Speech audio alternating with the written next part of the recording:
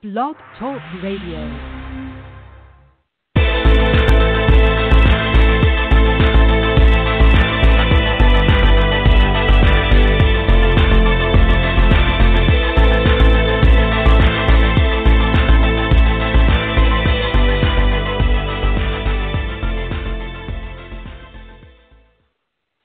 Hello and welcome to Virtues of Peace. My name is Hope Elizabeth May, and I am joined by Taylor Ackerman, Hello.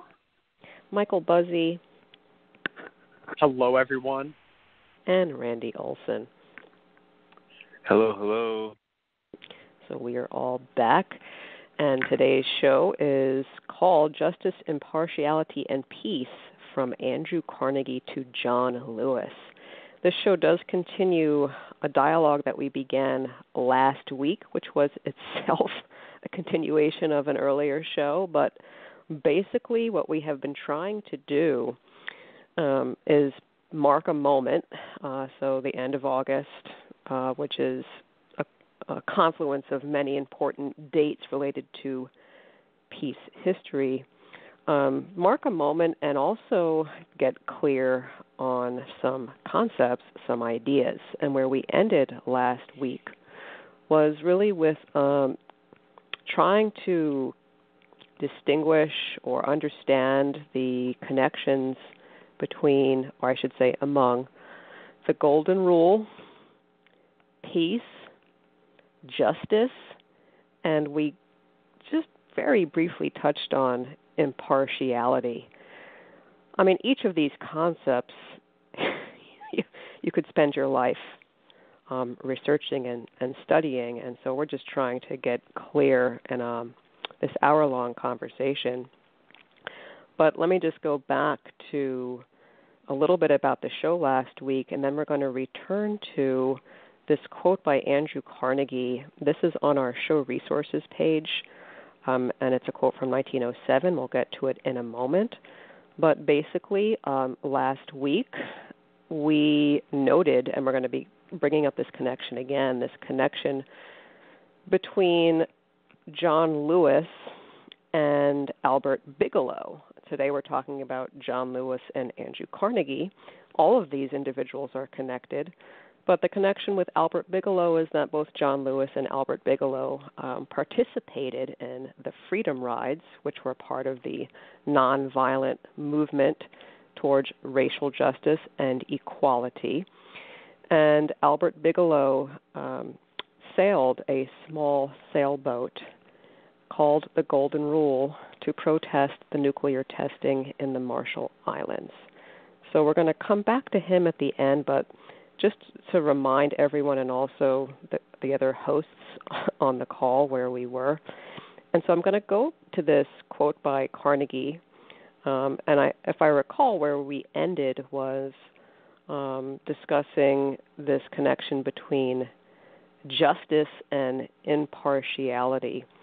And so basically, in this quote uh, from 1907, Andrew Carnegie, who again um, is responsible for the Peace Palace in The Hague, which we talked about several times, um, and he's responsible for many other pieces and uh, entities still contributing to this day towards um, peace and justice. And I would argue that Carnegie Hall in New York is one of those other pieces in this architecture that he has bequeathed to us.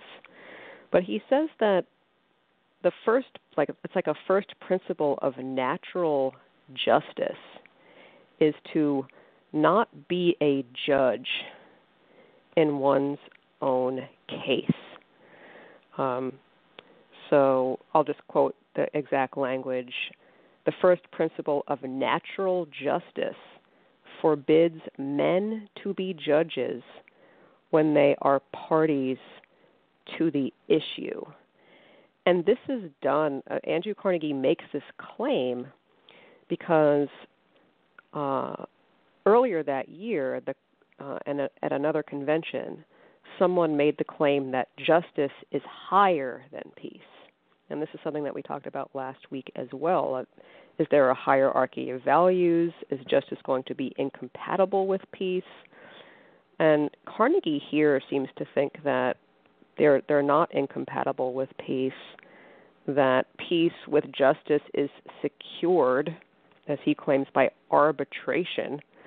Um, and I'll just stop there and open it up to anyone if they want to continue filling out uh, this this bit that we were talking about last week.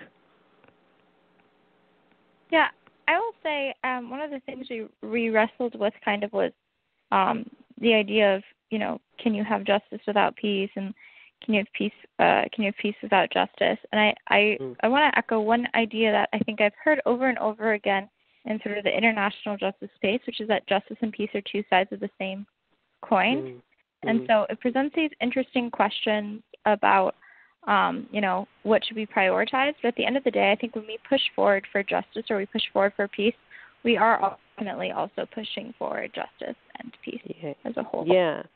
Thanks for that. And um, and other shows, you know, uh, I I think I have, and I know that Randy has quoted Jane Addams' definition of peace as the unfoldment of worldwide processes making for the nurture of human life.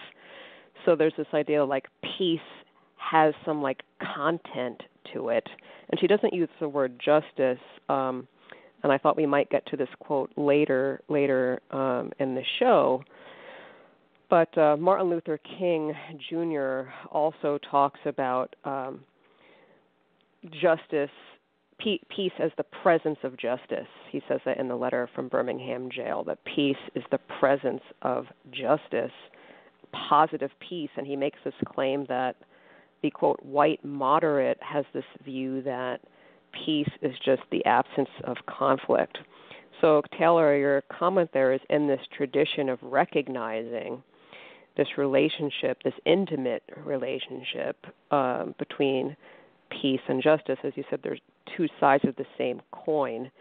And I also want to say that um, that sentiment is really like if you go into the the early drafts of the Universal Declaration of Human Rights, that is clearly stated. It didn't make it into the final draft, but um, in the early drafts of the Declaration, the, the claims are they don't use the word justice, but they say human rights, which of course connected to all of this, right?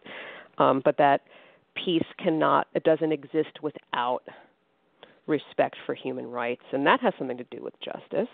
Okay, so yeah, I think where we are today, right, is understanding that there is this intimate connection between peace and justice and um, it's interesting because in 1907, Andrew Carnegie, and I, I think he, if I recall, he's responding to Theodore Roosevelt, who makes the claim that justice is higher than peace.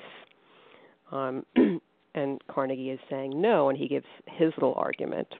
Um, but yeah, I think I think that's where we are today. That we've sort of like woken up to the fact that what we're working towards is not simply the absence of conflict, but the presence of something that involves human rights and justice. Anybody else?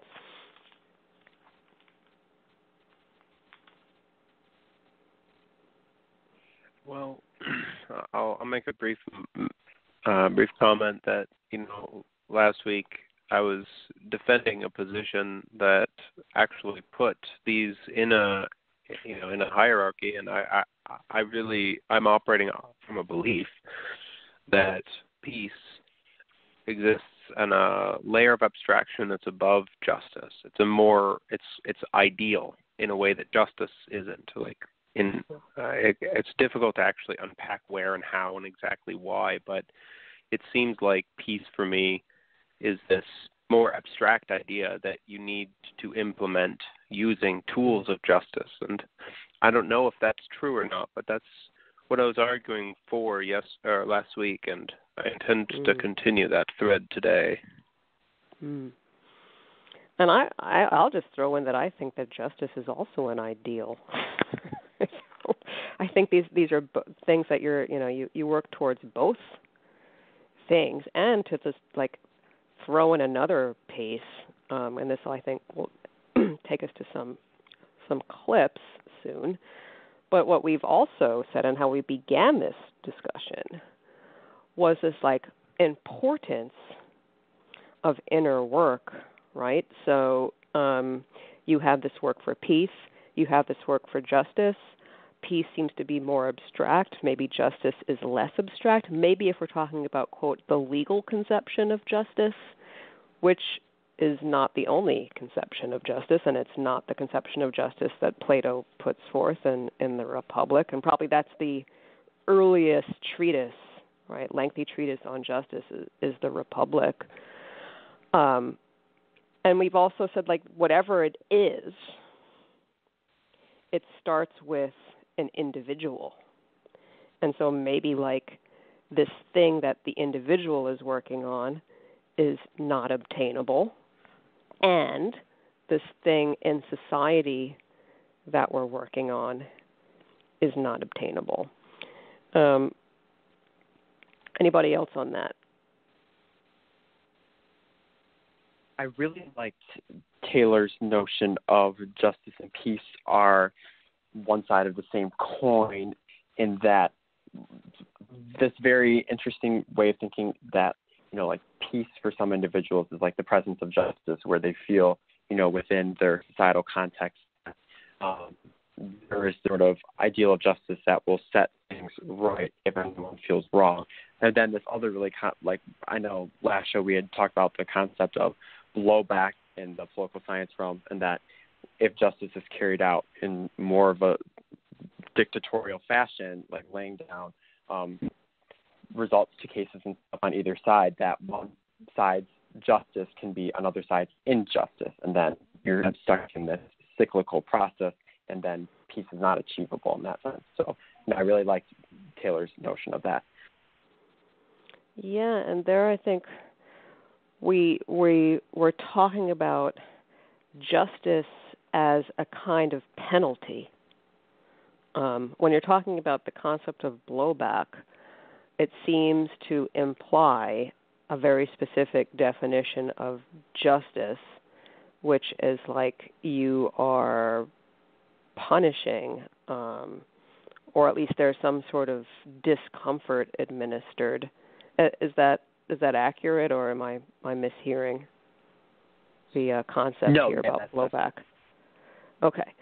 Yeah. That. And so, yeah, and I think last week we we um we noted that that's not the only and I think Taylor also talked about some some other approaches to justice um, that that don't involve punishment in that way, in the way that like the Western liberal criminal law uh, approach to justice. Um, so just bracket that. Um, so that's like one aspect of justice. Like we want we want someone to pay um, there needs to be payback. Um, and I, I'm going to say that that that that idea of justice is challenged very much so by Plato, um, like so before Christianity, and um, maybe we'll we'll we'll get to that. But um, to continue this thread, I'm going to play a clip. Uh, so what we're talking about is, um, you know, the the role of the individual and the individual work and whatever it is that we're talking about peace and justice. And so when we're talking about justice as like punishment, and, we also remember, okay, so like this involves the work of the individual as well. Like, what does that look like? That's one question. But I'm going to play a clip from from John Lewis actually, um, who talks about the inner work that's required for peace. Okay, so here it comes. This is John Lewis, and um, this is from an interview from 1998, and you can access it on our show resources page. In the chapter Peace at the end, and we've got just a couple of minutes, I want to read a, a paragraph that you wrote and um, a- ask you how effective you think it is to get people to read this. I ask you to reach down inside yourself and find the truth your life is compelling you to see. That is your road to true peace, and it is the beginning of the evolution of humankind. because every change in the world starts within. It begins with one individual who envisions his or her micro universe the way it can be and settles for nothing less. And as one individual moves toward the light, that light ignites more individual flames, and eventually the revolutionary inner work becomes a transformative outer work that builds into a bonfire of light, the kind of light that can change the world. I believe that. I believe that one one solitary individual committed to the way of peace, the way of love, the way of nonviolence can change others, a community, a nation, a world. You have to, you know, we used to sing a little song during the movement. This little light of mine, let it shine. I'm going to let it shine. We have to let our little light shine. Not just in our little room, yes. Not just on Capitol Hill, yes. But in the larger world.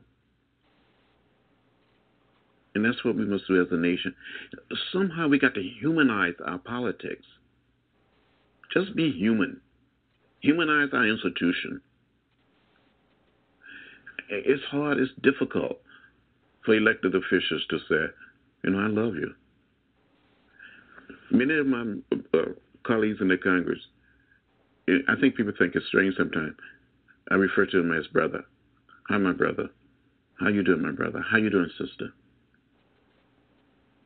I see ourselves as a family. And we have to be examples to the larger nation, to the American community, and to the world. So that is John Lewis talking with Brian Lamb. You can watch the entire. It's actually a video, and we just you know took the audio from it on our show resources page, virtuesofpeace.com. Brian Lamb, by the way, was the person who um, envisioned C-SPAN um, many years ago. He's a he's an institution himself. He's great, but uh, John Lewis says we have to imagine like we are a family and I know people think I'm strange because I call my fellow congresspersons brother, sister, etc. And and this this sort of we're, going to come back to. We have some other clips as well, but this kind of image of uh, like we have to imagine that we're a family and we have to act thusly um, also raises questions about punishment and administering pain for, quote, justice. Uh, he doesn't use that word. He's talking about peace, he talks about inner work. But the image here of a family, I think, helps us to maybe navigate a little bit um, this this different conception of justice.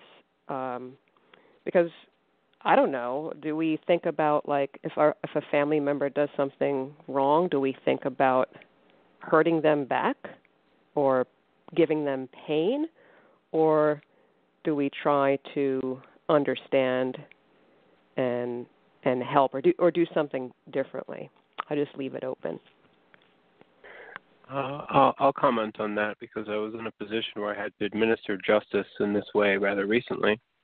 Um, you know, one of the one of the children was uh, very uh, defiantly holding on to the sour gummy worms that were covered in sugar and the yeah so the issue was removing the sour gummy worms was interpreted by the child as a punishment but mm. when you know from a different perspective it's like no we're we're taking something away and mm. even though you're experiencing negative emotion it's no it's not a punishment nor is it painful Mm. So this, I'm just adding this layer in with a visual to point out that like, just because one person can identify something as painful doesn't mean it is, right? We have to get into some very serious definitions of things, and mm. you know, a lot of the time it's pretty obvious when something is a punishment when it's painful. But you know, if we're going to talk about using nonviolent means to, you know, I- enact some form of justice into the world, we have to be willing to do things that somebody might not like, even mm. if it mm. isn't directly painful, like a bludgeon or a cudgel or something. And I think, uh, you know, in other clips, um, John Lewis says um, you have to be willing to take pain, um, like physical pain, but you don't you don't interpret it as simply, you know, thuggery, um, but you interpret this as sort of necessary to move towards what he's going to, you know, call a revolution. We talked about this last week, a revolution of values or a revolution of consciousness. So, and this goes back to the clip that we played by um, by Leymah Gbowee, where um, these women who were working for peace in Liberia say like, I need to like take this pain so that my community is at peace. Um, so there's that aspect as well to the this connection between pain and justice. Anybody else? Yeah, going off of the idea about pain and, and justice, it really goes into that inner work and being able to take that pain. Um, mm-hmm. I think it's like very different, you know, especially I think in politics, um, to kind of like quiet your ego and, you know, call someone who you disagree with vehemently brother. Um, and to like humanize politics you know, to humanize politics really requires work, making sure that you yourself are, you know, fully hu- fully human, um, mm. and have humanized yourself. And so, I it's really I think his this clip in particular really um, explains the connection between the inner work that one does and the mm. external mm. movement of peace and how important that inner work is. Mm. And um, I want to add in a quote uh, from Bertha von Suttner, um, who says, and she's talking about suffrage, interestingly, but she says the best reason for women's suffrage is that politics can only develop into a state worthy of our progressing civilization if the essentially female qualities of gentleness and dignity would penetrate political life. Um, and I just add this gloss. Um, so this more like humane family uh, dimension that John Lewis is talking about. Also, Bertha says, you know, we have to bring gentleness and dignity into political life, and she calls that essentially female. Just pointing that out, and Taylor, your point is that to like before that happens, you have to yeah do this inner work, um, which yes, I think it's something we have stressed, and it's something that needs to be stressed repeatedly. Um, yeah. A- any anybody else on that? Yeah, I really loved what John Lewis had to say, and I think you can even apply it in a in just like a very relevant context currently if anyone is a follower of international relations and politics you would know that the intra-afghan peace talks between the taliban and the afghan government are set to begin in qatar on saturday and i had received a, new, a news notification this afternoon from an american news outlet that was kind of bashing a like they had asked the celebrity their take on the peace talks and how they would handle it, and the celebrity pretty much said something to the extent of, "I would approach Taliban leaders coming to the peace talks with love. I would approach this from a very mm. human sense, and you know, not this justice mm. equaling pain that we had talked about before." And the news mm. organization was kind of bashing the celebrity for that. That that's anti-American. How could you, you know, dare love or treat individuals like this? with any sort of degree of respect or human dignity. And it was just, and then to hear the uh, quote from John Lewis, it's just this very, you know, coming to the table mm. with an open heart, seeing the whole of humanity as a related family. And I think it also speaks to a lot of, like, to the concept of restorative justice as well, that, you know, if you are to punish these individuals who are coming to the table to talk and, you know, seek retribution from them in some way, that you would only further the cycle of violence and you would not put any forward motion of peace whatsoever. Hmm.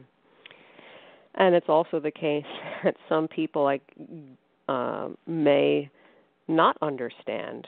Uh, that is, you know, other civilians why you don't punish, why you are doing this with, uh, you know, open arms, and that itself also perpetuates violence. So, so much work has to be done by by all people to yeah, understand where this this is coming from. And I'm going to play an, another clip by John Lewis. I referred to this clip last week, where um, it's in the same interview with Brian Lamb from 1998.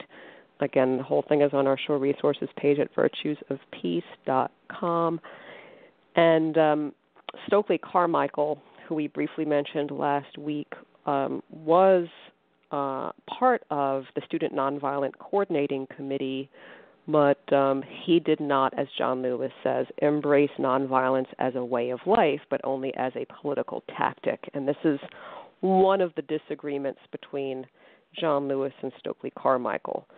Um, and there are people who do advocate, quote, violence in, quote, you know, the revolution. And so in this clip, you have uh, Brian Lamb playing John Lewis a uh, a conversation that Brian Lamb had with Stokely Carmichael, where uh, Stokely Carmichael is definitely advocating violence, and John Lewis responds to it.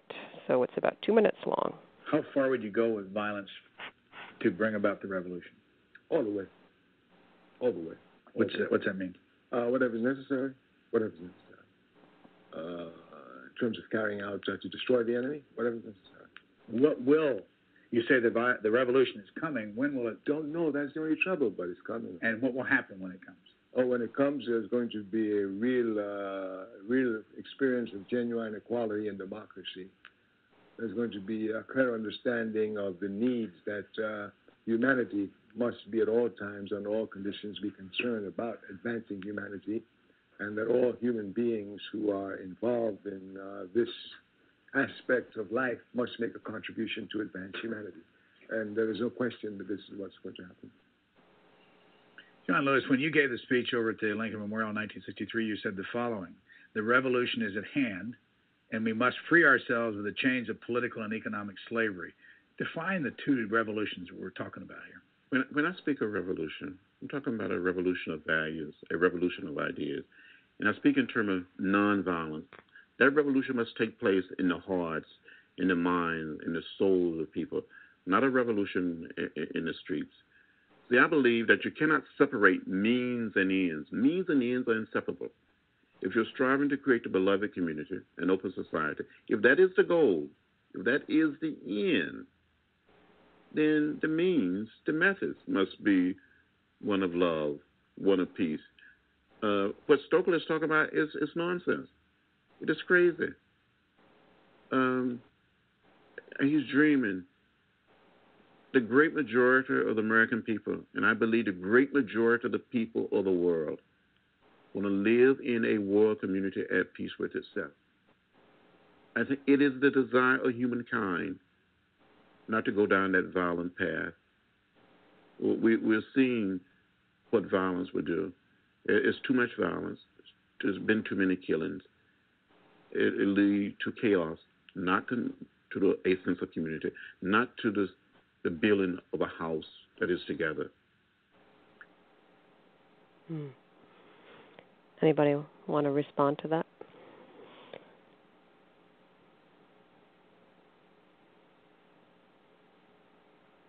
Yeah, I would just say I think you know when we're talking about the idea of the revolution, the revolution being this revolution of ideas, it really goes to the idea of the inner work and Mhm. being the light that he talked about in the first clip and showing that light as well. Um, you can't just do the inner work because so many people, when we talk about self care, we talk about people, you know, there's like this kind of this idea of like inner enlightenment, but that inner enlightenment doesn't really work if we're not willing to share that and to um and like society as a whole kind of has to reach that next level of enlightenment and that's really what I think he's talking about about um when it mm. you know moving past and everyone realizing that they're and it becoming mainstream that you know there have been you know there's been racism and there's been uh, xenophobia and that there's been violence and we need to find these ways and change our systems to change to change it and um mm-hmm. i think it's just so radical because when we often think about revolution we think about wars and we think about civil um civil conflicts um especially nowadays but um throughout history we also kind of have seen like the revolution being used the word in um these very mm-hmm. powerful ways mm-hmm. so mm-hmm. and So I'd like to I'd like to mention that you know if a person is taking personal development seriously and they're trying to really work on themselves and develop that in that inner that inner entity, whatever that is, call it soul, call it something else, there comes a point where the person has to eventually start to work on the external world as Mm-hmm. part of that path, as part of that development. There's no way around it right? Like, and one of the one of the, the prerequisites is going to inevitably be that you need to be able to, you know, walk the walk and not just talk the Mm. talk. Mm.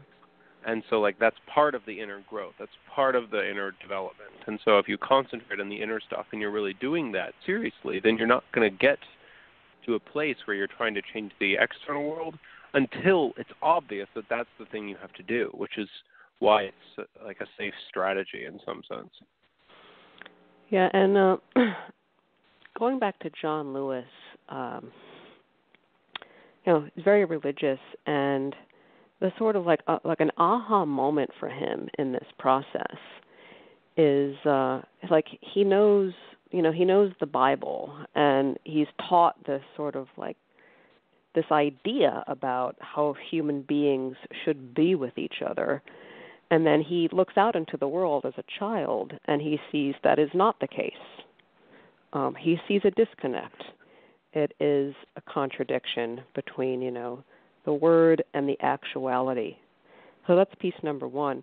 And then piece number two, he hears the words of Martin Luther King, and when he's 15 years old, and he hears the way of nonviolence um, and so forth.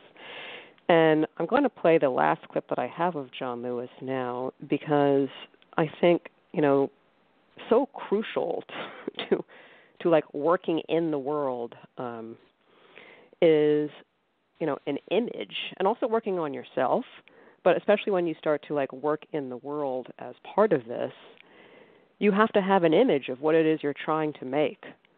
Um, and John Lewis in this clip says that this is like one of the core differences between between him and, and Stokely Carmichael that they're just imagining a different end, a different goal, a different reality.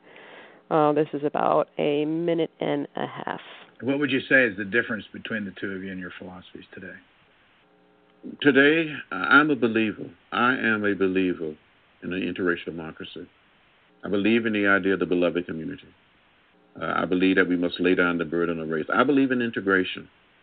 Uh, I believe that integration, like nonviolence, is one of those immutable principles that you cannot deviate from. Um, I I believe in America. I, I believe that we got to have coalition politics. We cannot divide the American house. We got to keep this house together and build one house, one community, one family. Uh, and I don't think Stokely share that. Uh, Stokely is not a believer in the philosophy and the discipline of nonviolence. I believe in it as a way of life, as a way of living, um, not just as a means, not just as a technique. And I think some people, like Stokely and others, use it only as a means, only as a technique. And when that happens, it's just like a faucet. You can turn it on and you can turn it off. You have to choose today if you're going to hate somebody today and love somebody tomorrow. Uh, but when you accept nonviolence as a way of life, as a way of living, then everything that you do and everything that you say is governed by that principle. Hmm. So in the in the earlier clip with Stokely Carmichael, uh, he does say that like the goal is this you know equal world of humanity. I forget the exact language that he uses. He doesn't use the term that John Lewis uses all the time. Beloved community, truly interracial democracy. Um, so Stokely Carmichael in in that clip earlier uses you know this more abstract term, if you will. So it's not clear that they're they are focused on the the, the different ends. But I think what is clear is that you know this this point about tactics, um, and I want to you know also mention this other other quote by Bertha von Suttner, and she says this right after um, the quote that I read about gentleness and dignity um, being necessary for political life. Right after that, she says, "It seems to me that the violent methods presently adopted are most unsuitable because they lack the above mentioned qualities." Means should never be less noble, less beautiful than the end. So I uh, I open it up for any comments. I I think like what's interesting, especially sorry to go back to that revolution trip, and then the idea of looking at a different end um, and mm. means to the end is really violence is like run of the mill. It is society, right? Like we talk about systemic violence, we talk about war? Are we talking about all sorts of um, issues in our society? And really, violence are, is at the core of so much of it, and, and power struggles, mm. and coming from a place of violence and anger and greed. Um, mm. Whereas this idea of a nonviolent revolution, this idea of the ends we want, are so radically different that it makes sense that the revolution would not come about in a way of violence, but would come out uh, in a way of sort of mental clarity and and uh, political kind of a more political um, thought revolution. Um, because mm-hmm. honestly, violence is just everywhere. So mm. adding violence doesn't add anything new. Mhm. Anyone else? I would think yeah, I build upon. Go ahead. Oh, thank you, Randy to build upon Taylor's point that the vision of John Lewis and Martin Luther King Jr. and Stokely Carmichael, like their means were just so radically different. But in a way, they're both trying to influence the wider populace to, you know, sort of recognize the injustice that is being enacted upon this racial minority in the country, and that through Stokely Carmichael's vision of this, you know, elaborate, violent, completely just chaotic revolution that would occur, you are not giving those individuals who you're trying to influence the space or sort of the clarity under which they could go that under which they could take that personal work, that inner revolution for hmm. themselves. Mm. And if anything, mm. through the violent revolution, you would just be further hardening their resolve and mm. further entrenching them in their current opinions than trying to open them up to a new way, way of thinking. Whereas John Lewis's and Martin Luther King's Jr.'s approach of love everybody, you know, regardless of that, to sort of get them to undergo this process of self reflection and to undergo that internal revolution is definitely different for sure.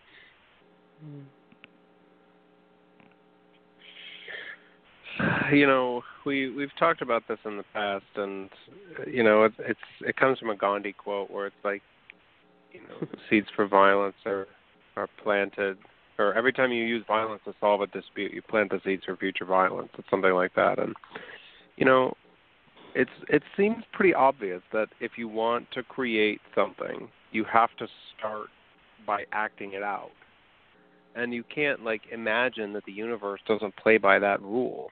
And the universe, obviously, inside of that is society and the world we live in. So it's like I I want a peaceful world where everybody gets along, that has to start at the scale of okay, well, I'm going to treat myself in a way that's peaceful where everybody gets along, not violently. And mm-hmm. then I'm going to start to treat the people around me in a way that's peaceful, in a way that everybody gets along. Now, so I mean, it, it, in some sense, it's it's like it's it's obviously the true way forward. The the position that John Lewis's uh, clip presents, um, and I, I want to stress that that's actually much much harder than it sounds.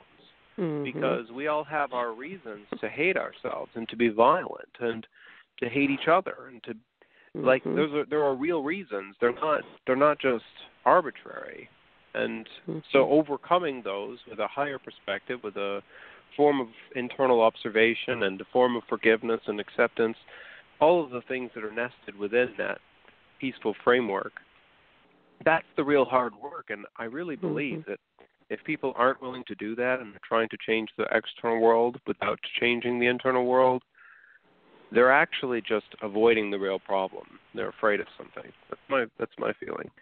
Mhm. Yeah, I think I think you said in an earlier show like like becoming better is hard work. You said something like that and and I I, I absolutely second that and um I mean um you you you talked about sort of not committing violence to yourself um, and not committing violence to other people. And um, at least where I am these days, you know, after after studying, you know, these ideas and, and teaching these ideas, um, which, as I've mentioned, goes back to ancient Greek philosophy. Um, you know, the the will, if you will, perhaps we'll, we'll, we'll squeeze Kant in in here somehow.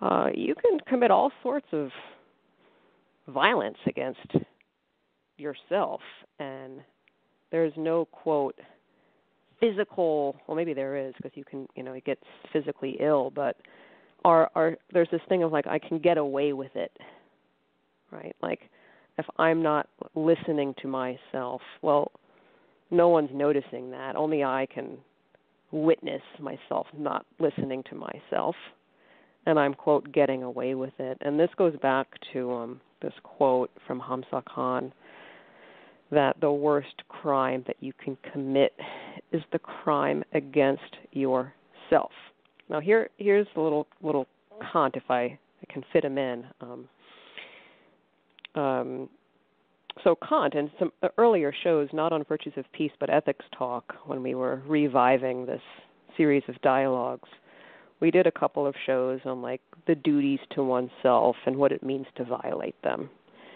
And actually, that remains a very popular downloaded conversation, by the way, which which says to me that people out there, we're not just talking about people in the United States, have this sense of like they have duties to themselves and they're violating them. Um, otherwise, like why would people be downloading that that particular podcast more than others? And and they are, which I find very curious. So number one, they're like duties to ourselves, and number two, we violate them. And is this is this violence? Do we call this violent? Um, and uh, Kant says, and this this is the connection also to impartiality that we're, try, we're trying to make that we made last time with justice and Carnegie's quote. He says, and this is from a book that he wrote called The Doctrine of Virtue. You can find this on our show resources page. This particular quote that I'm about to read is actually quoted in another book called Making a Necessity of Virtue by Nancy Sherman. And as luck would have it, that page of her book is available through like Google Books or something. That single page is. And so if you go to our show resources page, it'll take you to one book and one page where this quote I'm about to read appears, but it is from Kant's Doctrine of Virtue. We can't publish the whole thing because of copyright. He says, impartiality in judging oneself in comparison with the law and sincerity in avowing to oneself one's inner moral worth or unworth are duties to oneself that follow immediately from that first command of self knowledge. So there's this primary duty, that's end quote, there's this primary duty of self knowledge. And then once you like have that duty and you take it seriously, then you have a duty to be impartial in judging yourself and sincere about your true worth, which he's going to say like the true measure of your value, is not how you compare to other people out there. No. Your true measure of value is the extent to which you are obeying the inner law. He also calls it the inner judge. And that he says that uh, uh, he, he seems to say here that it's possible to do that. Elsewhere, he he questions whether you can really know your own motivations. But I just want to throw in there that there's this whole other like piece of philosophy that's really important. We've we've talked about this before. As I've said, it's a popularly downloaded show. That um, it starts with yourself. It starts with being a friend to yourself, whatever that means. And by the way, that's also in Plato. Um, and Plato defines justice in that way as like you are a true friend to yourself, and that's what justice is. And they're not committing violence against your voice. Um, and that's really where the revolution has to be. But that's you know like 2,000 years ago. These ideas. and Kant, Kant picks it up later, but but it's all there. Um, so yeah, uh, and that that as you said, Randy, is hard. It's not like it's easy, and those people who aren't doing that and who are focused um, just on like the outside, maybe there's you know some hypocrisy. I don't know. That's also a, a popular a popular notion that's bandied about um, in, in these works. So I'll stop.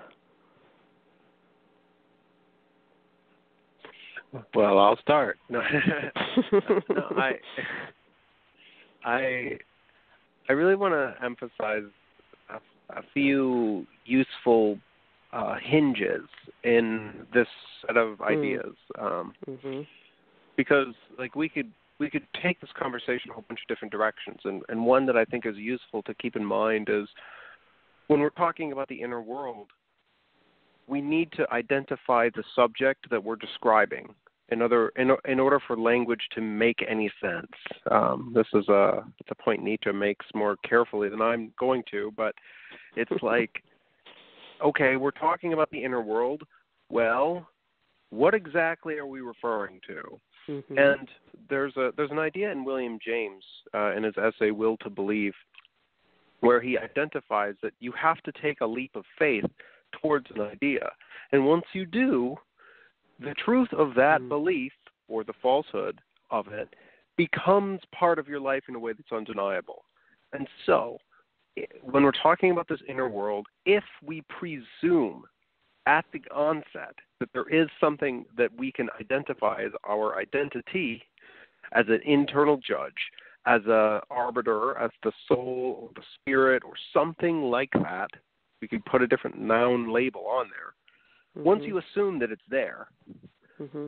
then you can actually have the conversation as to whether it's doing good uh, and whether you can evaluate it and stuff like that. But a lot of question, like a lot of conversations about this, get just totally hung up on well, I don't know if there's anything actually in there or not. It's like, yeah, I, of course.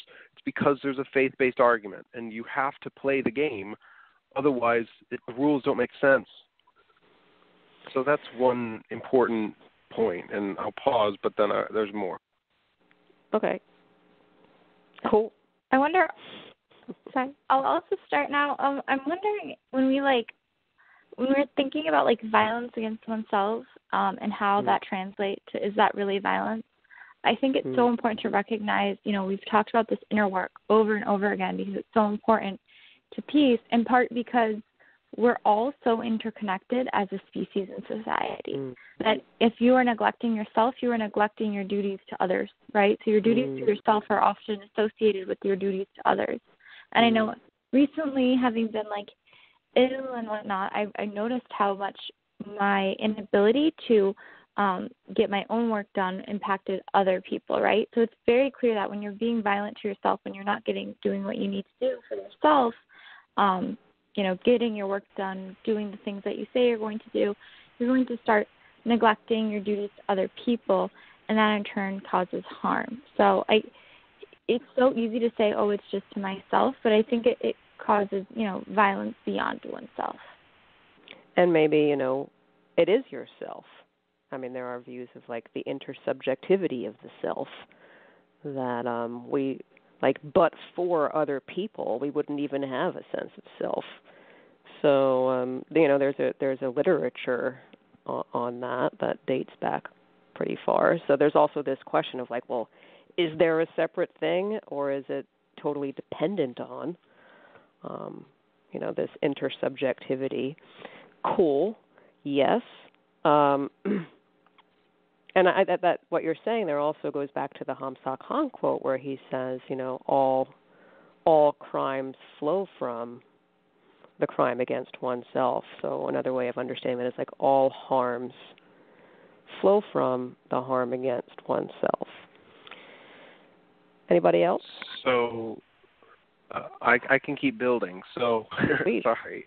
Uh, um, so one of the things that gets really cool is once there is an internal entity that we've identified and given a label to that we call something approaching our higher self or you know Mm-hmm. our soul or something like that once that's there one of the things that automatically starts to happen is there's this split between that thing and our personality and our persona and all these other parts of ourselves and we start to differentiate and have to begin to discriminate between the different parts of ourselves and the mm-hmm. psychoanalysts have done a really good job kind of parsing out all of the useful subcategories of that. But one of the things that's most useful is the I the part of ourselves, whatever that is inside, that's able to pay attention to things and distribute attention amongst the various components of our being.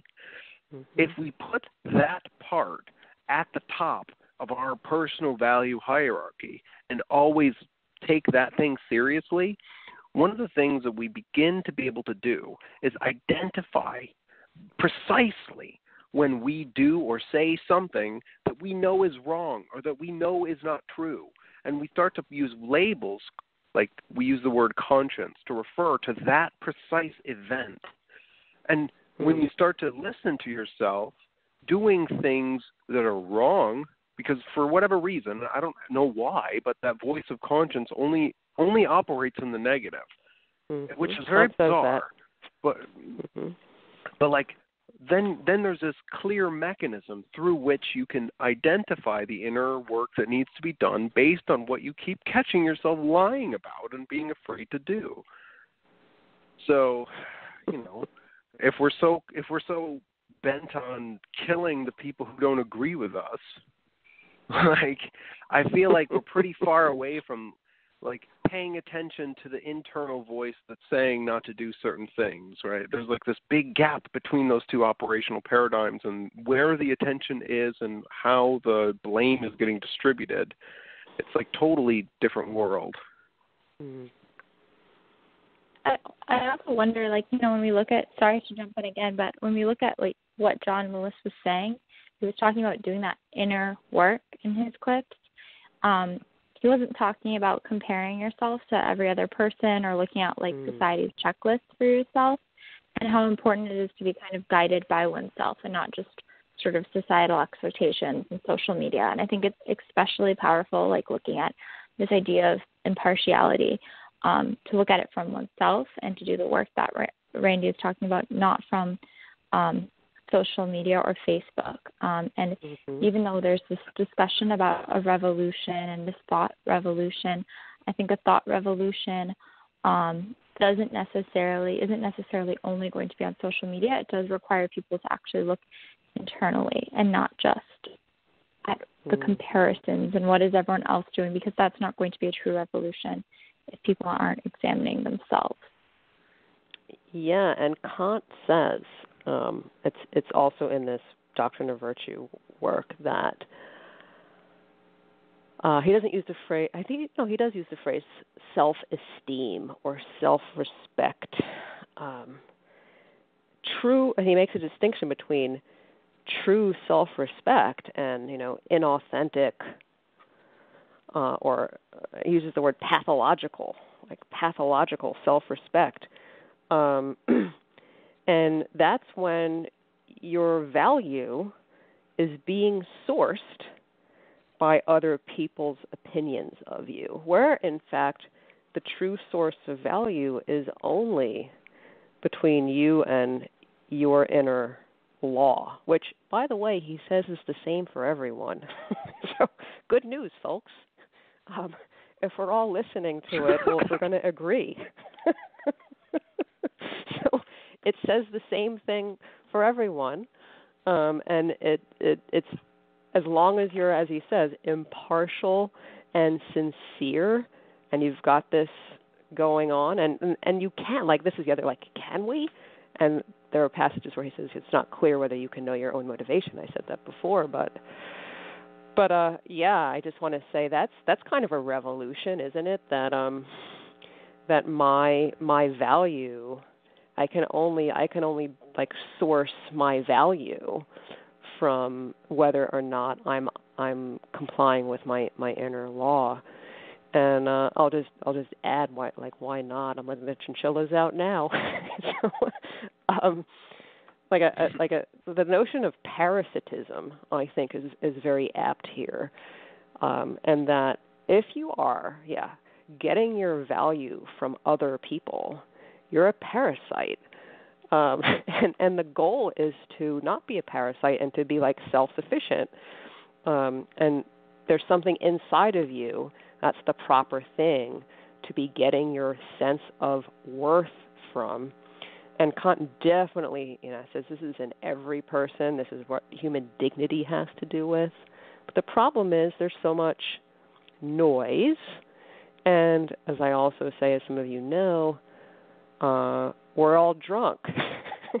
so, uh, we have a case of drunk parasitism. Um, and when I say drunk, I mean we go into these trances of um, our nervous system sort of gets triggered and we go elsewhere and we're not fully present with ourselves and with other people.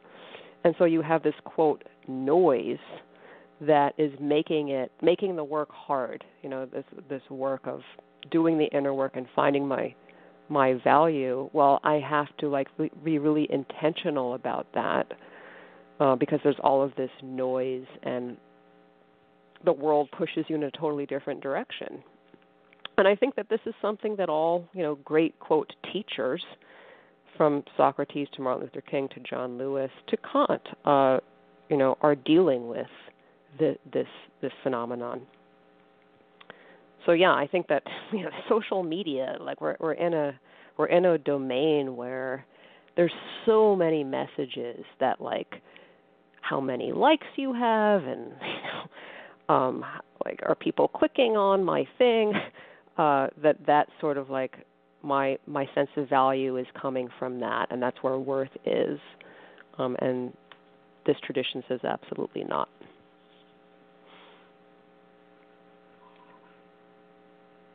Well, real quick, uh, I think that there's a danger of, you know, taking the same sort of parasitic idea and just kind of like pivoting and like taking the parasite mentality and clamping it on to like the divine and whatever that is and like hmm. expecting mm.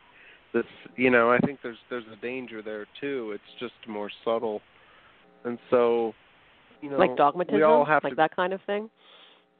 Exactly, ideology mm. is is basically mm. what's going on there. You know, you're worshiping mm. some kind of thing, and then you're starting to use that to justify your own activities and your own self worth, which turns into a crazy feedback loop. So, you know, the the idea is like at bedrock, we're dealing with individuals whose worth and self worth have to be determined by themselves and that requires that they have the framework to do that, to build up the prerequisite knowledge and have this sort of internal library whereupon you can judge yourself in a way that's judicious. Mm. Mm. and there's like there's an enormous degree of complexity to all of that. So that's I don't know. Yeah. That's just a, a note. Yeah, you have to have you know a, a, a sufficiently built up inventory of um, uh, you know so Marcus Aurelius, Aristotle, they talk about the importance of you know examples, other voices, if you will, um, but you know examples that you can can call on.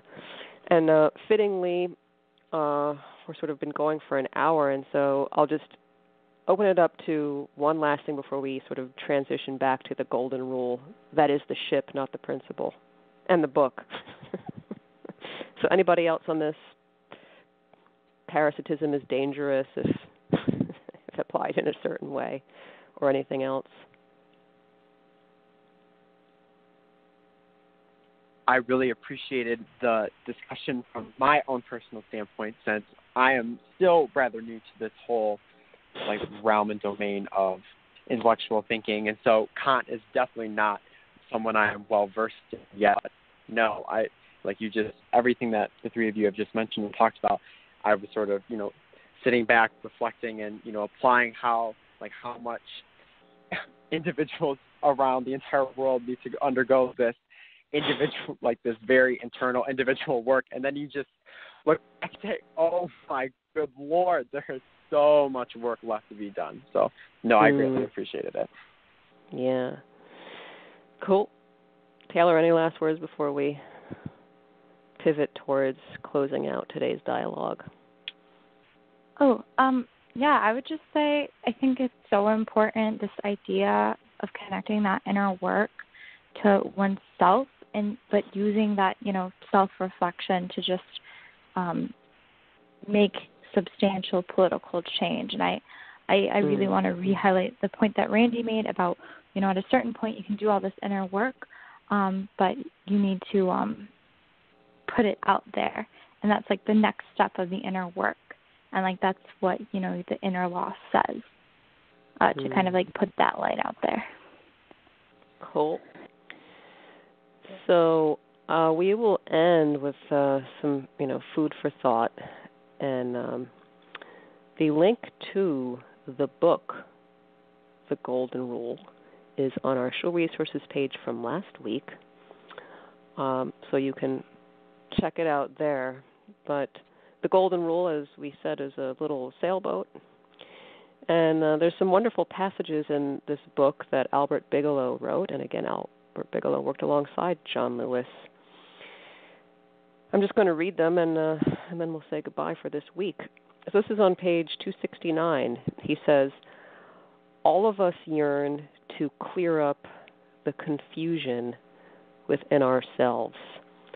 All of us long to end the conflict within ourselves. All of us have a deep, secret, and dominant want. We want a conscientious conviction. That's on the very last page of the book. And so there is, like, even if you don't want to posit a self or an inner judge, uh, as Randy was saying, like, first we have to take a leap of faith that such a thing exists. Um, Kant does. um, Socrates does. But even if you don't want to take that leap of faith, do you want to take the leap of faith? And is it a leap of faith to say, well, there is this confusion and conflict within? Um, is that something that, like, you can't, that's an undeniable fact? And then what do you make of that conflict uh, is, is the next question. But uh, according to this quote, what we're really after is a conscientious conviction, um, a place where reason kind of settles. Uh, and and so yeah, I think Kant's idea of the moral law uh, may be fitting that bill. And lastly, this is on page 268, right before that. What the Golden Rule said, and by that he means his little ship, was We are not telling you what to think, but we are saying in the most dramatic way we can that there is a need to think. So I will stop and then just open it up for one last round, and then we will go. Anybody?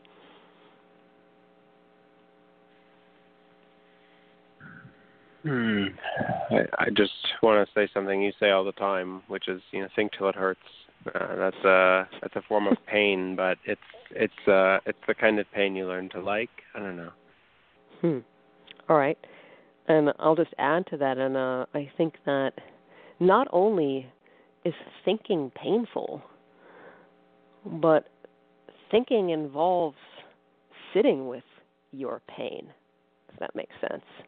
So there's like this sort of like intellectual discomfort and this like analytical muscle that hurts when I exercise it. That's one one insight.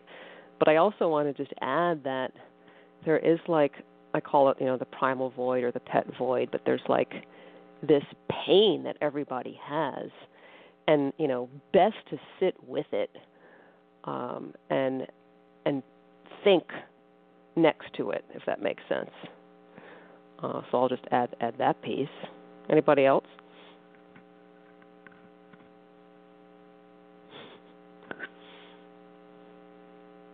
Not even a no.